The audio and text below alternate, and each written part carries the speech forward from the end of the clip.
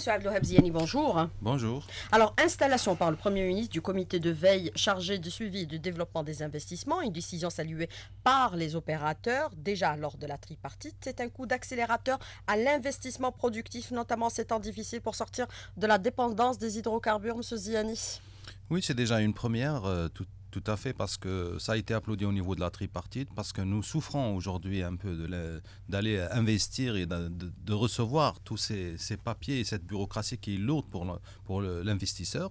Aujourd'hui, donc, il y a eu quand même cinq ministères qui vont être impliqués avec le Premier ministre, hein, à savoir l'industrie, l'agriculture, l'environnement, enfin tous les ministères qui sont autour de l'entreprise. Et ça va être un benchmarking aussi entre les wilayas, ça veut dire qu'ils seront directement, ils vont prendre la température de chaque wilaya. Est-ce que les investisseurs courent vers cette wilaya ou non? Qu'est-ce qui se passe? Pourquoi ça ne va pas? Pourquoi ça va ici et pas là-bas? Donc il y aura déjà, déjà une évaluation mensuelle, pratiquement même deux fois par mois s'il le faut quand il s'agit des investissements importants. Et ça sera directement relié au Premier ministre, donc qui donnera aussi euh, euh, son point de vue et aussi d'accélérer et de débureaucratiser s'il le faut là où ça bloque. Alors pour certains spécialistes, notamment Abdelhak Lamiri, malgré toutes les bonnes volontés, l'investissement demeure aujourd'hui otage des lourdeurs et d'une bureaucratie qui a la peau, dure. Vous êtes aussi convaincu par ce même principe? Je suis convaincu, nous sommes pleins de... C'est toujours la même situation C'est toujours la même chose, euh, rien que pour vous dire, nous avons parlé il y a trois ans de cela ici sur la caravane que nous avons menée donc, vers Gardaya et les autres wilayas elle reste quand même, euh, elle reste lourde la bureaucratie. Il, il, faut à chaque fois faire appel au Premier ministre pour qu'il appelle ses services, pour qu'on puisse avoir un papier pour que l'investisseur se mette à travailler. Aujourd'hui, on dit à l'investisseur faites vite, venez, etc. Mais la lourdeur fait que ça dure entre un an à trois ans rien que pour recevoir les papiers. C'est pour cela que nous avons salué cette initiative de dire voilà, le projet, voilà comment il se présente. Il n'y a pas que les ministères, hein. il y a aussi l'ONDI qui est impliqué parce qu'il y a des, il y a des retombées fiscales qui sont importantes. Si quelqu'un emploie plus de 1000 personnes, il y a l'ONDI qui peut s'aménager par rapport à la fiscalité et la région. Il y a aussi toutes les banques. La BEF, elle est représentée dans ce comité de suivi. C'est très important parce qu'aujourd'hui, si vous n'avez pas la banque et si vous n'avez pas les avantages fiscaux, l'investisseur se décourage. Et c'est pour cela qu'il y a tout cet ensemble-là qui vont évaluer devant vous quand vous allez présenter un projet et aussi, ils vont aussi attendre le temps de réalisation. Et là où il y a un point de bureaucratie, il sera levé par ce comité de suivi. Alors la volonté politique est aujourd'hui clairement affichée pour booster l'investissement productif. Que reste-t-il à faire pour traduire cette volonté politique par des faits et des actes concrets? Monsieur Ziani, concrètement? Écoutez, concrètement, je dirais, euh, je ne vais pas encore rester sur la bureaucratie, mais c'est toujours l'appareil de l'administration est très lourd. Il ne suit pas la vitesse de l'entreprise aujourd'hui. L'entreprise a besoin de produire, d'exporter et d'aller vite, vite, vite, vite partout.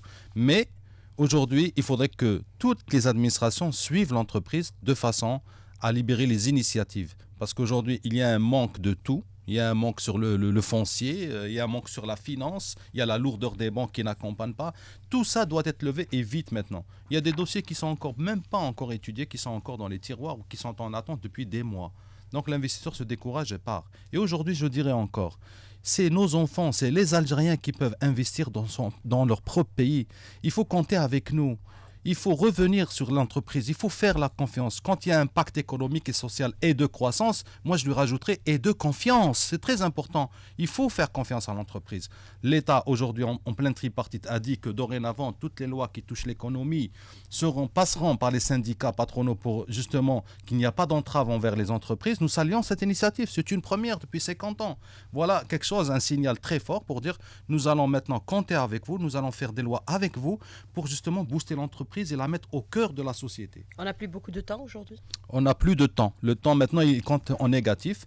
Il faut réduire toutes ces importations sauvages. On en a dit ici depuis très longtemps. Tous les secteurs qui sont saturés en Algérie, il faut faire des barrières non tarifaires pour bloquer justement tous ces produits qui sont en train de, de nous envahir de partout. Aujourd'hui, il faut donner la chance à l'entreprise de reconquérir son marché et c'est très important. On a perdu une grande part de notre marché, plus de 60%. Si on arrive à reconquérir notre marché par nos entreprises, entreprises, le marché parallèle va tomber. C'est aujourd'hui, on veut légaliser tous les marchés. On veut emmener tout ce marché noir vers la légalité des entreprises. Donc tout ça, c'est un travail qu'on doit faire ensemble. On doit, on doit tisser ensemble avec les Algériens qui sont dans le parallèle, non parallèle, qui reviennent dans le circuit formel pour que tout le monde soit impliqué à travailler fortement. Alors aujourd'hui, vous parlez de saturation de certains secteurs, mais il y a cette liste négative d'investissement par rapport à la saturation dans certains secteurs d'activité. On parle d'une liste négative de 110 euh, secteurs d'activité. Il faut réorienter l'investissement de telle sorte à répondre aux besoins du marché Écoutez, je ne sais pas pourquoi. Ça fait presque 10 ans que j'en parle sur ça. Et aujourd'hui, on parle de liste négative. On a trop de minoteries. Il faut arrêter de donner des avantages fiscaux aux minoteries. On a trop de laiteries. On a... Moi, je suis président de la Fédération Agro. J'ai la filière lait. J'avais, euh, il y a en 2007, 108 entreprises. Aujourd'hui, nous sommes à 180 entreprises. Et aujourd'hui, on se plaint pourquoi il n'y a pas assez de poudre de lait, il y a, le quota diminue, etc. Ça ne sert à rien. On importe 10 euh, 000 tonnes de, poudre de lait, on les partageait sur 108, maintenant il y en a 180, et ben, les entreprises, au lieu de travailler en plein fouet à 24 heures ou à 8 heures par jour, et ben, elles travaillent 2 heures par jour. Tout simplement parce que nous avons donné des avantages fiscaux à certaines laiteries qui n'ont rien, aucune raison d'être. Aujourd'hui, il faut organiser, il faut segmenter, il faut filiariser, il faut, absolument ordonner les choses. Moi, je lance un appel à toutes les filières de s'organiser, de dire ici nous sommes saturés, on n'a pas besoin de donner à une, nouvelle laiterie des avantages fiscaux pour qu'elle vienne faire de l'ombre sur l'autre. Il y en a une qui existe et qu'elle couvre le marché. Pourquoi vous que je ramène une autre pour... C'est fini tout ça. Mais comment s'organiser Et comment réorienter cet investissement Tout simplement, c'est au niveau de l'ONDI. Si quelqu'un veut faire d'une laiterie, on va lui dire, monsieur, on veut réorienter sur un autre, euh, euh, un autre, une, autre une autre filière, tout simplement parce que cette filière, elle est saturée. Et si vous avez, surtout sur les produits stratégiques, hein, pour le blé, le, le blé et le lait, parce que c'est très important, la tomate concentrée, tout ça pour dire, attention, n'allez pas dans ces secteurs. De toute façon, nous, nous allons pas vous accompagner en avantages fiscaux et parafiscaux. Tout simplement parce que les secteurs sont saturés. Alors, euh, mais comment en fait faire en sorte est-ce que ces investissements se réorientent sur d'autres domaines d'activité? Est-ce que c'est possible? Hmm. Puisqu'on parle de flexibilité même dans l'investissement, Monsieur Ziani. Bien sûr, on ne va pas se réorienter vers, euh, on va pas aller de la mécanique à l'agriculture, mais par exemple, toutes les entreprises qui sont dans le domaine agro peuvent aller chercher maintenant leur matière en Algérie, peuvent aller faire des process de façon à produire leur matière en Algérie, de façon à s'autosuffire nous-mêmes. Aujourd'hui, c'est très simple. Si vous allez dans un domaine de la confiture, qu'est-ce qui manque? On, importe encore de la confiture. Hein. C'est vraiment. On importe du bonbon, on importe du chewing-gum et ça continue. Mais nos matières, on se dit toujours parce que nous, on est complexé par le made in, on ne va pas chercher ce qu'il y a chez nous. Et pourtant, il y a toutes nos, les matières sont là. Donc, à l'entreprise elle-même d'aller chercher ces matières dans le pays. Il y en a. On ne se connaît pas assez entre nous. Et aujourd'hui, si l'entreprise fait une extension, elle l'a fait justement, et justement dans, dans, dans l'absorption de ces matières. J'allais en parler de toutes les façons sur les taux d'intégration. Je voulais, je voulais expliquer aujourd'hui qu'une entreprise, aujourd'hui, pour qu'elle fasse de l'expansion et de l'extension, elle doit absolument commencer à faire de l'intégration à l'intérieur. Si elle commence à faire de l'intégration, c'est une bonne entreprise. C'est des entreprises championnes. Si une entreprise algérienne produit un produit 100% national, moi je la classerais comme championne parce qu'elle a consommé des matières premières algériennes. Son taux d'intégration est 100% algérien. C'est celle-là qu'elle sont championne. Bien sûr, je ne dis pas que celle qui transforme et qui importe le Japon n'a rien, aucune ressource. Il ramène tout, il transforme, et les premiers producteurs de véhicules, d'acier, je ne sais pas quoi. Mais il importe tout. Mais aujourd'hui, on doit quand même classer les, entreprises championnes quand elles produisent 100% algérien, parce que c'est de la devise 100% euh, euh, qu'on va enlever du trésor public. Alors justement, aujourd'hui, on encourage euh, l'investissement productif pour réduire nos importations. Il faut les réduire même dans les domaines où on produit suffisamment, par exemple dans l'agroalimentaire. Vous avez donné l'exemple de la confiture. Il y a la tomate aussi industrielle, les pâtes industrielles. Oui, moi je dirais tout simplement, tout simplement, il faut mettre les... Il faut impliquer maintenant les douanes. Les douanes doivent être impliquées pas seulement par les positions tarifaires, à chaque fois, on parle que des positions tarifaires. On doit travailler comme tous les pays du monde. Je viens de revenir de l'Union européenne. J'ai vu un peu tous les systèmes qu'ils font. On n'arrive pas à rentrer à l'Union européenne parce qu'ils ont mis des barrières non tarifaires. Ils protègent leur, euh, leur circuit. Tout à fait normal, c'est de bonne guerre. Aujourd'hui, il faut travailler sur les positions. On doit revenir sur la norme très très vite. On avait commencé avec le ministère du Commerce, on avait commencé avec le ministère de la Santé. La norme doit être imposée immédiatement. La norme, aujourd'hui, elle doit suivre tous les produits algériens produits en Algérie. Donc c'est très important de normaliser nos produits. C'est le seul circuit de défense aujourd'hui pour dire nous, nous consommons tant de sucre, nous, nous consommons tant de sel, nous, nous consommons tant de gras, nous, nous consommons ça. Ça, c'est la norme algérienne. Mais est-ce que ça ne s'apparaît pas à une sorte de, euh, euh, de c'est-à-dire de patriotisme économique, mais à la fois du protectionnisme qui est aujourd'hui aussi euh, contraire aux conventions signées par l'Algérie, Monsieur Ziani, puisque vous revenez Je vais plus citer ce de Bruxelles, voilà. Je vais plus citer ce mot de protectionnisme, mais quand j'ai vu leur mécanique, comment ils se protègent, c'est pire que du protectionnisme. C'est vous ne rentrez pas chez nous, vous n'êtes pas agréé, vous ne rentrez pas chez nous. Ce que nous faisons, c'est de bonne guerre C'est de bonne guerre, oui, comme eux le font. Voilà, tout simplement, je dis que c'est de bonne guerre parce que leur système aujourd'hui, moi j'étais là à l'Union européenne euh, il n'y a pas longtemps, il y a une semaine, et je dirais qu'ils ont mis un système d'agréage pour les produits qui doivent être exportés vers l'Union européenne. Sur sept pays de la Sud-Méditerranée, il n'y en a aucun qui a été encore aujourd'hui qui a accédé à la certification européenne. Aucun. Et nous sommes toujours derrière, toujours, et ça dure depuis sept ans. Donc je ne sais pas quand est-ce qu'ils vont nous libérer pour exporter. C'est de bonne guerre, c'est des systèmes, des mécanismes qui ne vous laissent pas accéder à leur système. Alors, M. Abdeloheb Zini, avant d'aborder bien sûr le chapitre des importations, le PIB aujourd'hui, 3,7. L'objectif, c'est d'atteindre graduellement les 5, et puis pour atteindre par la suite les 7. On a les moyens d'atteindre ce niveau aujourd'hui, concrètement. Puisque vous êtes opérateur, vous êtes tous les jours sur le terrain. Et vous représentez les opérateurs. Merci. C'est un sujet très important pour moi parce qu'aujourd'hui, je commence à déjà à jauger mon entreprise moi-même. Donc l'année 2016 qui a été une année très difficile, une année que, où les Algériens sont, ont vu que le pétrole a diminué, que l'État allait se retourner vers de mauvaises politiques qui allaient un peu, euh, dirons, flasher l'entreprise parce qu'il va aller avoir beaucoup d'impôts, etc. Donc euh, aujourd'hui, les entreprises ont eu très peur, elles ont été frileuses mais quand même nous avons fait une année magnifique. Donc le 3,7 qui été annoncé par le ministère d'Industrie pouvait même être annoncé un peu plus. Pourquoi? Parce que les entreprises ont fait quand même cette année plus de 17% d'expansion dans leur chiffre d'affaires. C'est très important. Et aujourd'hui, cette croissance pourra nous permettre d'atteindre 5, si ce n'est plus, avant 2020.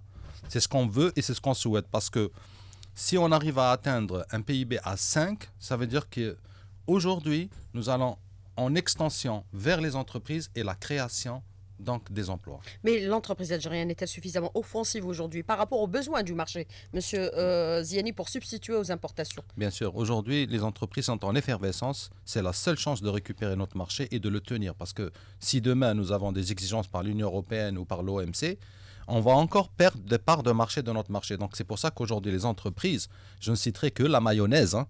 Aujourd'hui, la mayonnaise, elle est presque 90% importée. Donc, les entreprises algériennes ont investi, ils vont saturer le marché, ils vont même aller à l'exportation. Nous avons des fabricants d'huile, nous avons tout ce qu'il faut ici, nous avons des œufs, on peut faire notre mayonnaise, exporter notre mayonnaise et réduire ce, chiffre d'affaires qui est importé. Et l'affaire à la maison, c'est encore meilleur. Alors, comment qualifier la relation gouvernement-entreprise aujourd'hui? Eh bien, c'est très bien parce qu'aujourd'hui, nous pensons que depuis quelque temps, c'est que c'est les autorités qui sont en premier, qui nous écoutent le plus. C'est déjà le Premier ministre qui répond à tous les courriers des syndicats patronaux. C'est très important. Au sein de la CIPA, c'est lui qui est en train de, de nous booster, de nous dire nous sommes derrière vous. Quand un Premier ministre vous dit nous sommes derrière vous, c'est tous les ministères. Ça veut dire que la relation, la relation entreprise-gouvernement, elle est très importante aujourd'hui. Nous comptons encore continuer comme ça parce que c'est très important qu'on soit chouchouté par, le, par tous nos ministères, justement, pour avoir un peu d'encouragement, pour aller de l'avant, pour justement couvrir le marché. En place enfin l'entreprise au cœur de l'économie, au cœur du développement et de la croissance, Monsieur Ziani? Si on ne place pas l'entreprise au cœur du développement, au cœur du pays, avec toute la confiance, je dirais, toute la confiance accordée à l'entreprise, nous ne pourrons pas réussir. Si on ne la place pas avec toute la confiance, si on la place plutôt avec toute la confiance du gouvernement, elle pourra aller loin.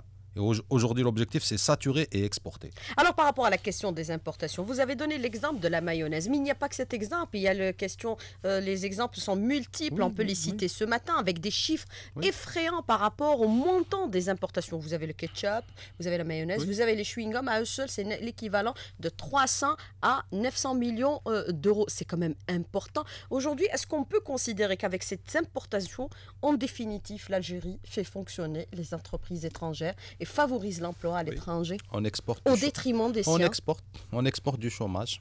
On, on, exporte du chômage, malheureusement.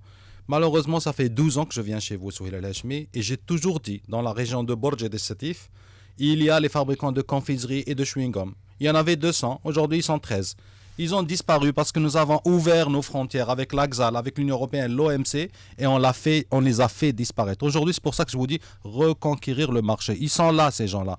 Je leur dis tous, redémarrez vos machines, revenez à votre métier initial, embauchez du personnel. L'Algérie est à vous. L'Algérie est aux, Algériens aujourd'hui. Donc il faut qu'on reprenne notre marché. On a des difficultés de devises. C'est aujourd'hui, on doit reprendre le flambeau algérien, consommer. Tout le monde me dit, oui, vous savez, nous sommes habitués à de la qualité, vous êtes médiocre, etc. Oui, nous sommes médiocres, on peut s'améliorer avec, oui, vous, le consommateur aujourd'hui. Aidez-nous à s'améliorer. Critiquez-nous tous les jours. Oui, oui, mais on n'a pas les moyens aujourd'hui. Et aussi, Cédric, il faudrait que le consommateur aussi consomme modérément. Ça veut dire qu'il n'y a pas de gaspillage. Il y a trop de gaspillage que vous voyez dans le pain, dans le lait et d'autres produits. Donc aujourd'hui, consommer modérément, aider les industriels à s'améliorer, c'est par son consommateur. C'est l'Algérien avec l'Algérie. Subhanallah. Alors si nous continuons avec ce même modèle de consommation aujourd'hui, cette importation importante, on tue nos entreprises. Vous avez donné un indicateur par rapport aux entreprises de chewing-gum. Des exemples sont multiples. Dans la tomate industrielle, à un moment donné, on en a beaucoup parlé. Regardez, si je reviens vers la tomate, encore un sujet, j'en ai parlé ici depuis dix ans. Pourquoi vous voulez qu'on importe du triple concentré de tomate, l'emmener dans des entreprises qui font du double concentré de tomate, le mettre en boîte? C'est de, la, de la tomate qui nous vient de Turquie ou de Chine. C'est des devises qui partent. Nous avons des milliers d'hectares. Il y a de la tomate qui est importée de pays où il n'y a même pas de Il n'y a même pas de tomate. Donc aujourd'hui, je suis très content. Contrefaite. Moi, je suis très content aujourd'hui qu'ils ont qu'ils il y a une conscience chez les industriels algériens. Nous en avons deux qui se sont installés dans le sud. Ils ont repris des entreprises publiques avec, avec les privés. Ils sont en train de produire de la tomate concentrée. Et justement, parce que cette tomate pourrissait dans le sud, donc maintenant elle sera mise en boîte et envoyée vers le nord.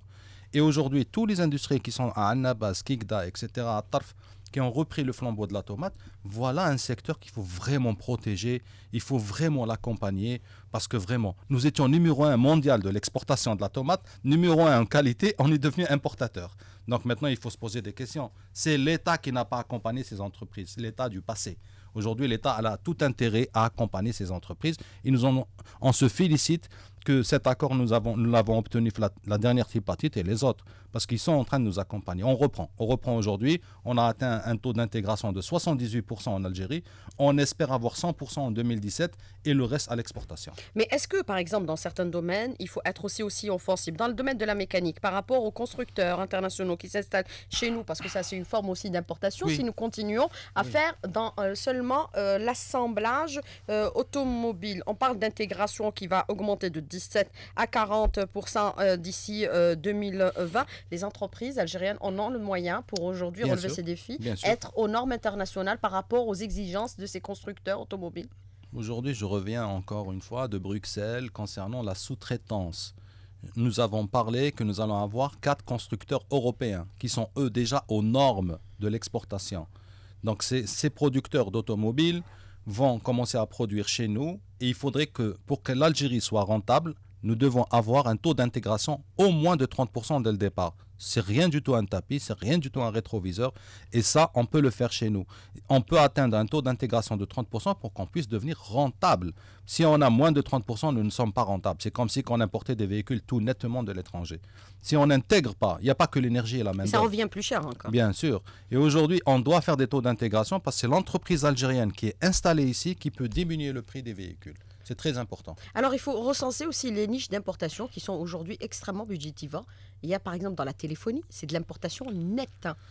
Oui, bon, vous savez qu'il y a un pôle aussi à, à l'Est hein, qui commence à devenir, et je les encourage parce qu'il y a un cluster qui va, qui va bientôt, euh, il, sera né bientôt, c'est le cluster donc, euh, des producteurs donc, de télévision et de smartphones, etc., qui va être bientôt donc, euh, sur le marché, enfin sur le, l'Algérie.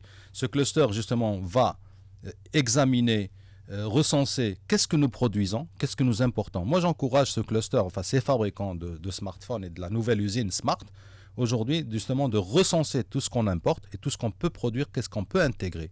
Et aujourd'hui, même si on, importe, à 100% des pièces détachées pour fabriquer un téléphone, eh ben, j'encourage parce que l'importer tel quel, il, revient cher. Mais aujourd'hui, si vous intégrez au fur et à mesure, cette technologie se transfère d'elle-même chez nous en Algérie. On est de façon leader en Afrique aujourd'hui. Hein. Sur les smart, on est leader. Et nous sommes vraiment dans, dans, dans la bonne direction.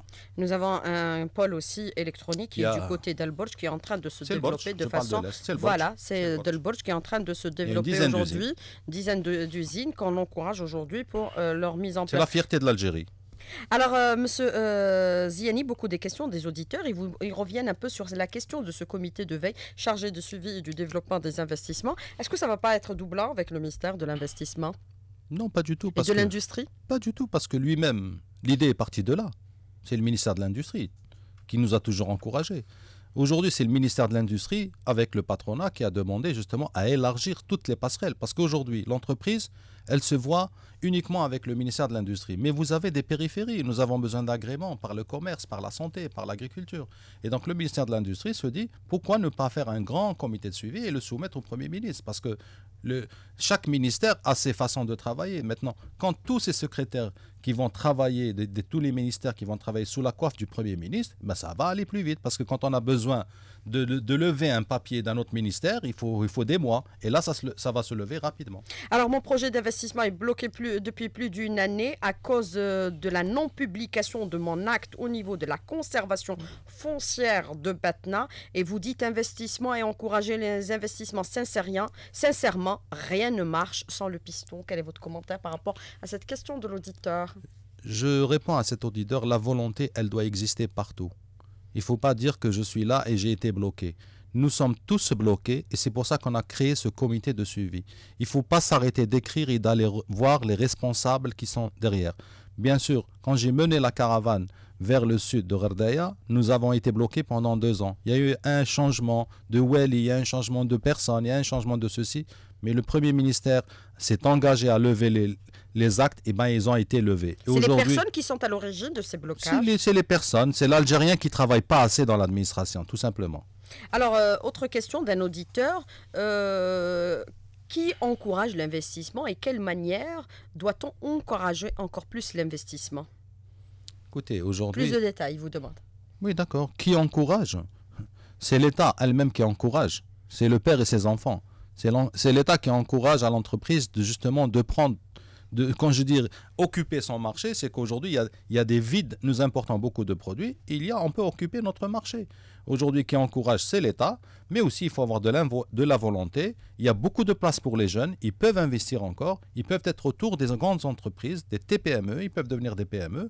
Et moi, je dis que à tous les Algériens qui ont plus de 20 ans ou qui ont à 30 ans, ils sont matures. Ils peuvent aller investir. Il y a des mécanismes et des systèmes qui aident. Mais il ne faut pas se décourager. Aller vers l'entrepreneuriat au lieu du salariat?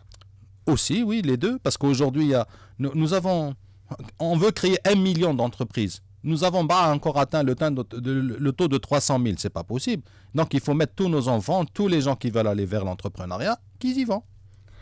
Euh, mais par rapport aux chiffres que vous annoncez à l'instant, par rapport aux entreprises, euh, on a reçu il y a quelques jours le directeur général de la petite et moyenne entreprise de la PME au niveau du mhm. ministère qui a donné le chiffre. L'objectif était d'atteindre les 2 millions d'entreprises. Aujourd'hui, nous sommes à 1 million 200 000 selon lui et les chiffres qu'il nous avait communiqués. Oui, c'est 1 million 200, pardon. Voilà. Les entreprises algériennes disparaissent parce qu'elles sont médiocres. Il n'y a pas l'apport qualité-prix. Et le consommateur aujourd'hui, puisque c'est la journée mondiale, est de plus en plus exigeant. C'est le cas, monsieur euh, Les mauvais vont disparaître pour laisser la place aux meilleurs Moi, je dis les mauvais, ils doivent s'améliorer. Comment ils peuvent s'améliorer aujourd'hui? Est-ce qu'il faudrait une refonte au niveau de l'entreprise, monsieur Ziani? Non, les, les, entreprises qui ont axe, qui sont, ils sont là, qui produisent, s'améliorent tous les jours. C'est les entreprises qui n'ont pas de volonté, qui veulent travailler dans les eaux troubles, qui disparaissent.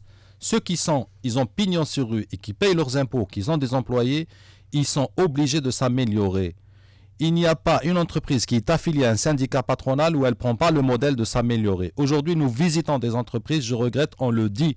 On visite des entreprises et on dit bravo à votre entreprise, on dit non, votre entreprise, elle n'est pas bonne, il faut, il faut, il faut, il faut, il faut s'améliorer. Et donc aujourd'hui, c'est très important que l'État elle-même visite les entreprises, qu'elle aide. Il y a énormément de programmes justement pour améliorer et la qualité et la qualité du manager, et la qualité des employés, et la qualité du produit.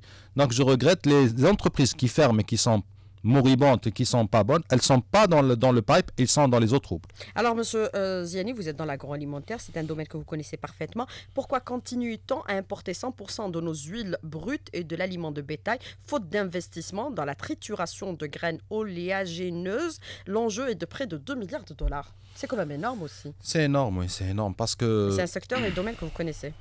C'est un, un, domaine que je connais parfaitement bien. Euh, il y a énormément d'investisseurs qui se sont lancés. Dernièrement, nous avons annoncé donc euh, deux entreprises, euh, une entreprise américaine et une entreprise algérienne, justement, qui va se lancer dans ces graines. Il y a aussi beaucoup d'Algériens qui se sont lancés du côté de Biskra. Donc ça va venir. Nous avons quand même 10 ans à 15 ans de retard sur ce sujet-là, alors qu'on en a parlé depuis très longtemps. Les terres sont là, elles sont à prendre. L'État aide, donne des concessions de 66 ans. Il faudrait absolument que les Algériens maintenant se retournent vers ça. C'est ce que j'ai dit au début de cette émission, c'est que quand on veut faire une expansion, on ne veut faire une extension dans une entreprise, on va chercher la matière première ici et non pas à l'extérieur. Donc il faut investir ici pour trouver sa matière première. Alors, dans certains domaines, par exemple d'activité agricole, nous sommes en surproduction, l'exemple de la pomme de terre, et aujourd'hui, les agriculteurs ne trouvent pas preneur. Est-ce qu'aussi, il faut encourager la transformation dans le domaine de la pomme de terre? Tout à fait. Aujourd'hui, nous, sommes en train d'encourager tous les transformations des produits agro-agri. Ça veut dire que c'est très agri-agro plutôt. Donc aujourd'hui, la pomme de terre, il y a quatre usines de, poudre de lait, de flocons de poudre de, pardon, de pommes de terre qui sont en train de démarrer justement pour absorber. Il y a le domaine des chips, mais ce n'est pas suffisant. Donc, mais il y a tout ce qui est transformation. Donc il y a la frite, etc. Il y a beaucoup d'usines qui démarrent. Nous avons encouragé. Au sein même de notre fédération, il y en a quatre qui démarrent. Et donc, euh, les régions sont là à prendre, euh, je dirais, les terres sont là, les, industriels sont là, on peut le faire. Parce que là, les, les agriculteurs dans le domaine de la pomme de terre, ils sont en train de désespérer. Carrément. Ils ne trouvent pas preneur. À 5 dinars, ils ne trouvent pas preneur, alors que la pomme de terre, elle est Si je reviens à ce sujet de l'agriculture, il faudrait qu'on en fasse une émission spécialisée parce qu'aujourd'hui, il faudrait faire une cartographie de l'Algérie. Il faudrait maintenant. C'est ce qui est en train de se mettre en place, non? Oui, je l'ai faite il y a déjà 8 ans, euh, la cartographie sur le lait, et j'aimerais qu'elle soit sur les autres produits, justement pour faire une cartographie. Est-ce qu'on peut être suffisant avec la cartographie? C'est elle qui va le dire. Cette cartographie va ouvrir les cahiers des charges. Je vais dire, moi, je dois avoir 10 000 hectares de pommes de terre, je dois avoir 10 000 hectares de tomates, etc., pour suffire. Nous, on dit, faites la pomme de terre, tout le monde fait. Regardez aujourd'hui l'ail. Il est presque à 2000 dinars. C'est pas normal. Parce que l'année dernière, à 50 dinars, personne ne le prenait. Et aujourd'hui, euh, ce qui reste sur le marché, c'est 2000 dinars. Oui, mais ce n'est pas les agriculteurs qui en profitent, c'est plutôt les revendeurs et les spéculateurs. Toujours, je dis toujours. Puisqu'on a vu un reportage à la télévision, les, les, agriculteurs le cèdent à l'équivalent de 30 dinars. Mais aujourd'hui, si vous avez un cahier des charges qui reflète l'oignon, l'ail, la tomate, la pomme de terre, vous serez toujours autosuffisant et régulateur du marché. Alors, autre question, le partenariat public-privé, est-ce que c'est un bon exemple pour redémarrer certaines entreprises qui sont en difficulté Le PPP, on en parle de plus en plus, ça a été aussi le thème qui a été abordé lors de la tripartite. Nous sommes plein dedans, nous sommes en train de marier beaucoup d'entreprises publiques-privées. Ah, J'aime bien l'expression mariée. Oui, parce que c'est deux Algériens, hein, ils sont de la même famille. Euh, nous, nous, nous connaissons bien entre nous. L'avantage du public, c'est qu'il a, lui, dans le passé, il avait des superficies que nous, le privé, nous n'avons pas. Et aujourd'hui, bon, euh, ben, on se marie ensemble justement pour faire euh, de belles choses, pour reprendre. Produire ensemble Oui, de belles choses, produire ensemble de beaux produits. Aujourd'hui, on a produit dans la céramique, on a produit dans les produits. C'est qu'on fait les beaux enfants. Exactement, c'est la même chose. on est deux frères et depuis très longtemps on nous a dit attention vous c'est le public, l'autre c'est le privé, etc. C'est l'Algérie, nous sommes en plein dedans et il faut travailler ensemble. Et c'est pour ça que nous sommes en train de les marier. Le modèle est très, est très bien. Donc, euh, bien sûr, euh, qu'est-ce qui intéresse le privé dans le public? C'est cette grande superficie qu'il possède, parce qu'aujourd'hui, il y a des superficies dans les zones industrielles qui sont déjà construites, et nous, nous avons le savoir-faire et nos machines, donc on peut rentrer et faire de l'expansion ensemble. Alors, autre question d'un auditeur qui vous dit, le climat d'investissement en Algérie est toujours incertain, sauf pour les amis les copains et les copines. C'est pas vrai. C'est pas vrai. Le climat des affaires est très bon en Algérie. J'en parle toujours avec les étrangers. Montrez-moi une région où la fiscalité, elle est, très basse. C'est l'Algérie. Si on dit toujours, oui, c'est vrai, il y a trop d'impôts en Algérie, etc., c'est une vérité. Nous, nous réclamons toujours qu'il y a une baisse et un accompagnement fiscal vers les entreprises. Mais nous sommes en matière fiscale le plus bas. Les Je regrette, on a ramené un Américain, il a demandé 30 000 hectares. À Adrar, on lui a donné 30 000 hectares. À 66 ans de concession avec un Algérien, 51-49. Vous pensez que ça, c'est pas, pas un bon climat? C'est un excellent climat des affaires. J'appelle tout le monde La à volonté a changé? La volonté a changé? du- de l'État et les Algériens vont reprendre leur marché. J'ai dit c'est très important. Alors, euh, est-ce qu'il faudrait aussi conquérir le marché africain aujourd'hui? Est-ce qu'il faut aller vers l'exportation? C'est un marché à conquérir, à prendre. Est-ce qu'il faudrait qu'on commence à placer concrètement nos produits sur le marché africain? Écoutez, nous avons investi presque 2000 km d'autoroute. Il y a le Premier ministre qui a annoncé l'ouverture d'une ligne aérienne Alger-Nigeria. Oui. Alhamdulillah, ils sont en train de nous écouter. Niger, Niger, pardon. Ils sont en train de Niger. nous écouter parce qu'aujourd'hui, nous avons réclamé plus de destinations à l'Algérie parce qu'elle transporte l'Algérien, ses échantillons et aller ouvrir ses... Aujourd'hui, on a besoin de d'avions, de transport et de finances. Alors pour cet auditeur qui est désespéré, qui se trouve au niveau de Batna, qui a parlé de son investissement, il demande à secouer la conservation foncière de Batna. Il n'y a pas que la conservation foncière de Batna, là aussi c'est un, un autre problème par rapport Moi- à la délivrance des actes. Moi, je dirais à, ce, à de ce monsieur qui est désespéré, s'il vous plaît, affiliez-vous à une organisation patronale qui, qui reprendra le flambeau par rapport à vous. Nous avons une plume, on écrit, on nous écoute. Ça veut dire qu'il faut être adhérent de toutes les organisations pour bien se sûr. défendre Bien sûr, parce que... on- on- Normalement c'est des acquis, monsieur. Non, madame, quand vous êtes, vous êtes affilié à une organisation, elle a directement une périphérie canalisée et on, on nous- on nous écoute mieux.